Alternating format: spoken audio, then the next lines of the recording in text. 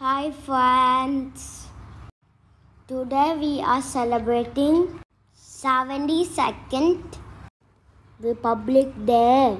Do you know why we are celebrating the Republic Day? Republic Day is celebrated every year on January 26 in India to commemorate the Indian Constitution replacing Government of Indian Act 1935. India obtained its independence on 15th August 1947. Though the nation did not have permanent constitution.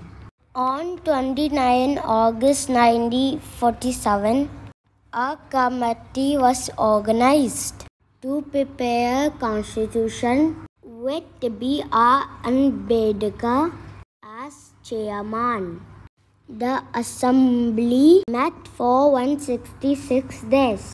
Finally, on January 24th, the 308 members signed two handwritten copy of the document, each in Hindi and English.